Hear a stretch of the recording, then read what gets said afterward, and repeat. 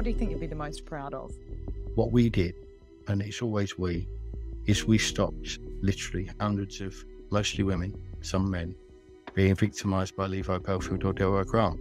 And actually, there's not much better you can do with life than that, really, is it? It's to stop lots of people falling foul of these evil people.